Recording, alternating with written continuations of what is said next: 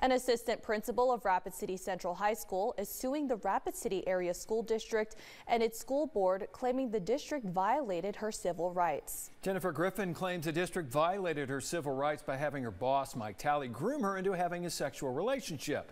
The district issued a statement addressing the lawsuit and Griffin's allegations of sexual harassment, claiming the district appropriately responded to Griffin's formal complaint against Talley in compliance with Title IX.